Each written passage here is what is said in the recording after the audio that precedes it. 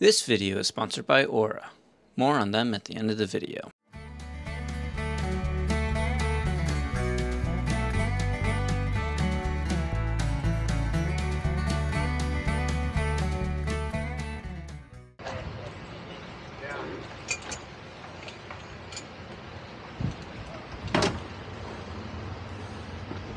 How's it going? Good.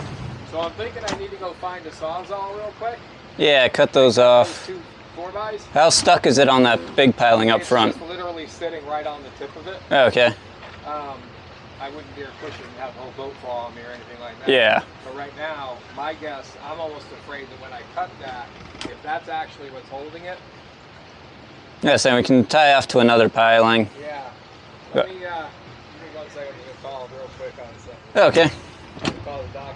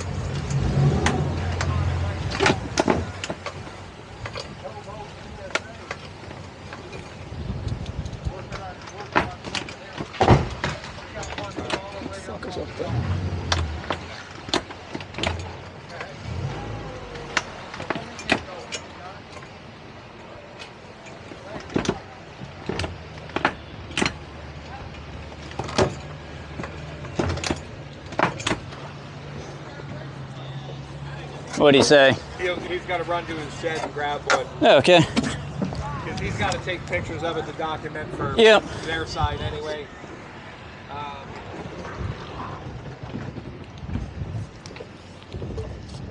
I just gotta call my boss back. We just gotta get final approval.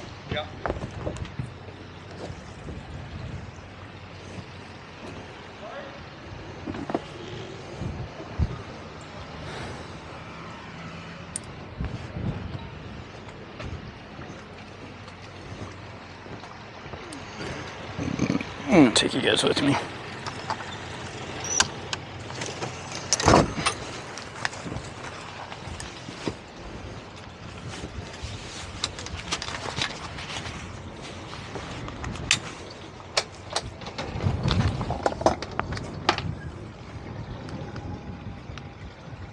At least we'll try. See if this camera will cooperate today. Looks like it will.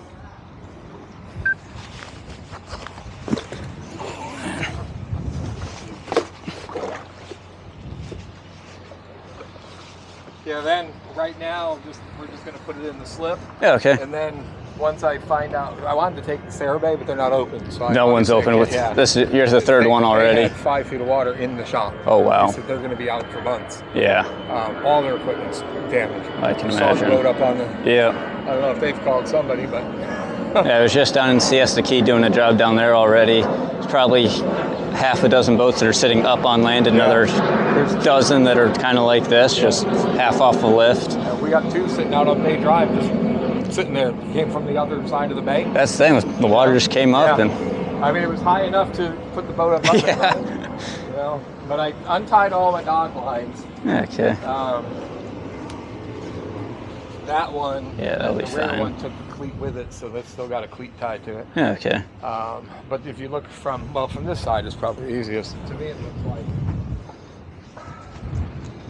I'm gonna have to cut. Yeah, so definitely tie this stern off to a piling over here just to keep it from falling while you're cutting it. Right, and then you know I can't tell how wedged it is. Yeah, kind of hard Oh. to tell. But if it's so wedged that that's actually what's holding it in place, I'm a little worried when I cut it. That's why I'll probably tie off to like Yeah. this piling. All right. And then, uh, my slip is the one to the left of, or the right. So this is my slip here. Where the bow is. Yeah. Okay. here. Well, this is me. Glad he moved his boat. Yeah. You know.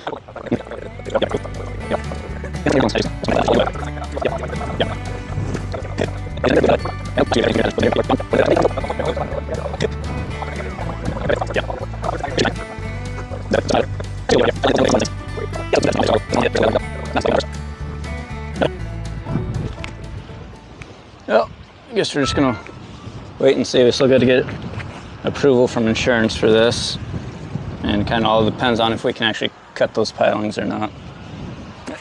They're tiny, so it shouldn't be a problem. One eternity later. Thank you.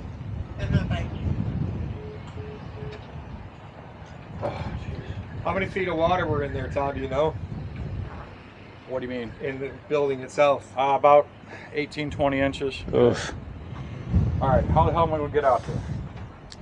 I can slide the bow over of my boat if you want to lean off from that. Wow. When that drops, so it's gonna drop right on this. I was gonna say it might be safer to do it from the bow of the boat Yeah. anyway. Just because of it's thin. Bow of his boat. Well, what I what I'm looking at is if what if we pull just pull it off of here? 'Cause it's gonna crash this anyways. Now, if you don't care about saving it, we can do that. It's I got this is pulled up. I mean, well, Hey, yeah, I can, it's gonna be trashed. I can pull the bow over. However you do it, you know. Trying to do the least damage to your dock, but I- It's like I said, that it's beyond that. okay. I mean, I got I got so much dock damage in here right now, it really doesn't matter anymore. I mean, I can try to cut it from over here. I just don't. I don't want you standing on the dock trying to cut it. Yeah, I don't know. That's what I don't want. The boat's gonna come right towards you. Um, And your bow's rather high. I mean, he'd be almost laying upside down trying to do that. Yep. Yeah. I think just pull it off right there. Okay. gonna come crashing See what I get.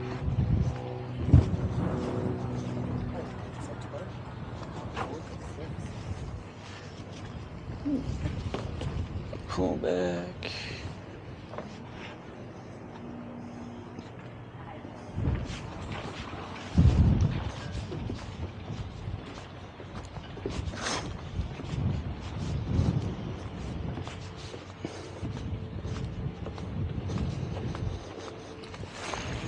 Sure how much of this you guys are gonna be able to see. I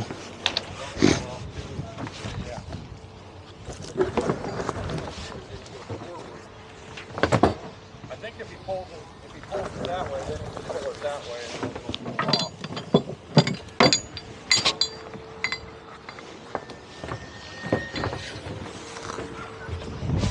I think that's what Turn my outside pole, turn my call.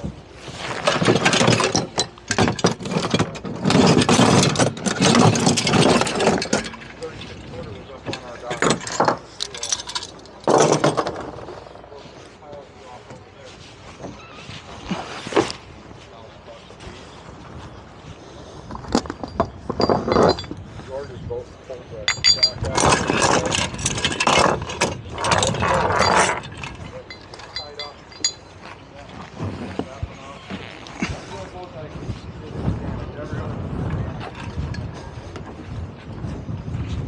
I think the only reason he didn't do any damage is because he uh, come down and used the fence way up here.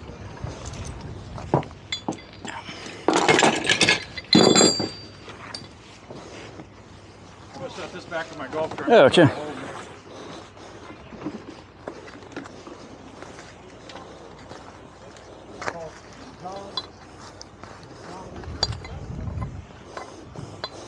We're gonna go off this piling to the bow cleat on the starboard side.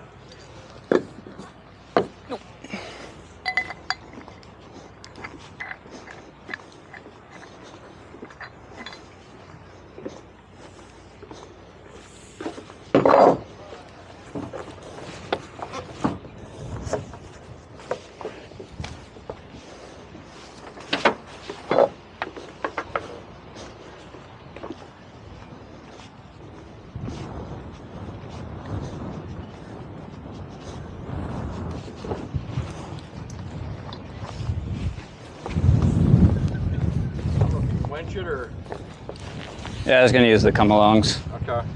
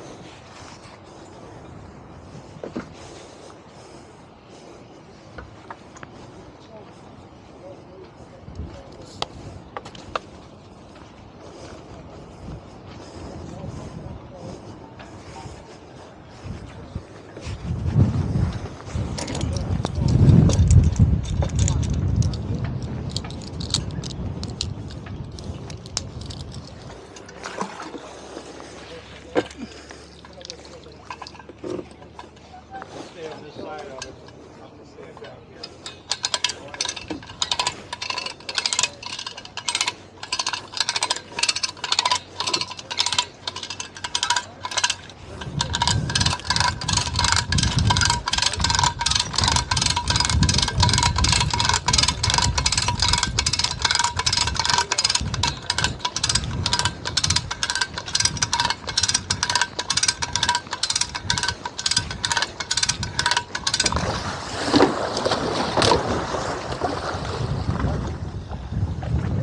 One, yep.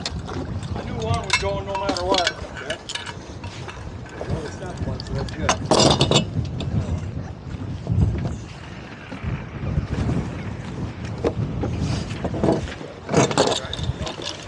Yeah. You got the one on the back.